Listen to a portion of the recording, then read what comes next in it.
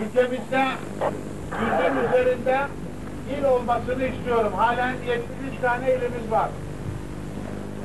Çok muhtemeldir ki buna bir 30 tane kadar daha ilave edeceğiz.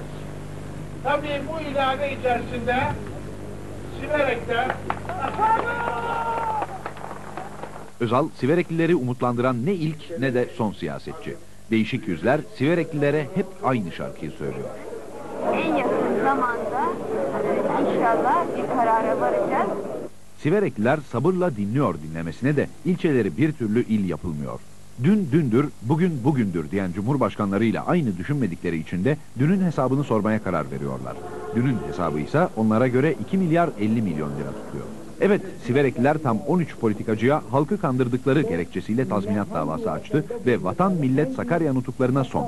Politika bu kadar ucuzlamasın dedi.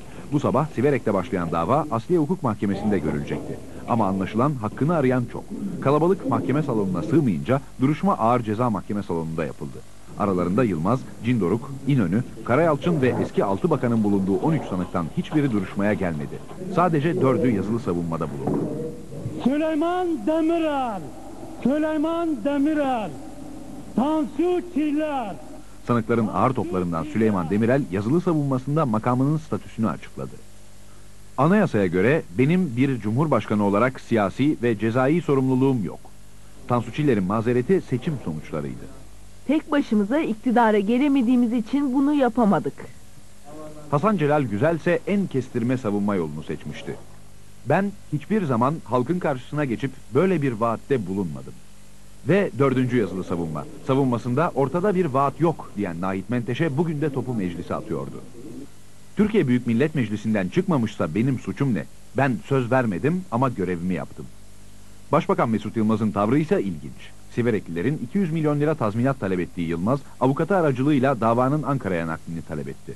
Anlaşılan kozlarını kendi mekanında paylaşmak istiyor. Siverekliler nerede olursa olsun hakkını aramaya kararlı. Seçim meydanlarındaki vaatlerin peşini bırakmayacaklar. En azından il yapma vaatlerini. Evet bundan sonra siyasilerin vaatlerde bulunurken oldukça dikkatli olmaları gerekiyor sevgili seyirciler.